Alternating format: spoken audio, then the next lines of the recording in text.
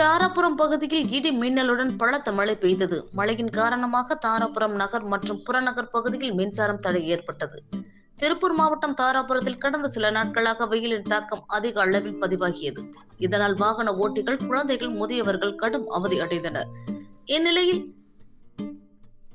காலை லேசான சாரல் மழை பெய்தது. அதன் பின் மதியம் முதல் மாலை வரை வெயிலின் தாக்கம் கடுமையாகவே இருந்தது.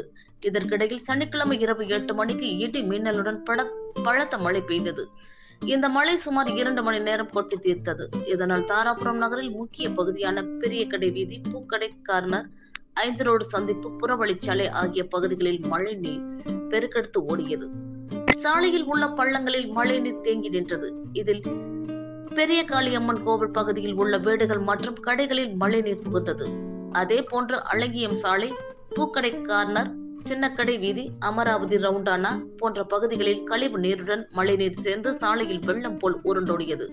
இதனால் அப்பகுதிகளில் வாகன ஓட்டிகள் பொதுமக்கள் வாகனங்களை இயக்க சிரமம் அடைந்தனர்.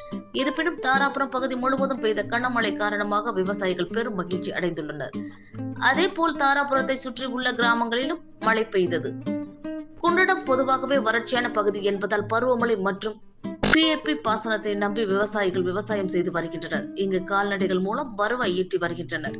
கடந்த இரண்டு மாதமாக வெயில் வாட்டி வதைத்து வந்தது. காடுகளிலும் புற்கள் கருகி போன நிலையில் இன்று கனமழை பெய்தது.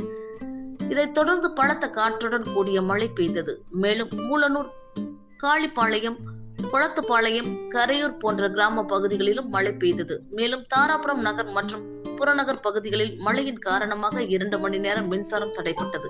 இதனால் பொதுமக்களும் குழந்தைகளும் முதியவர்களும் மின்சாரம் மின்சாரமின்றி மிகுந்த சிரமம் அடைந்தனர்.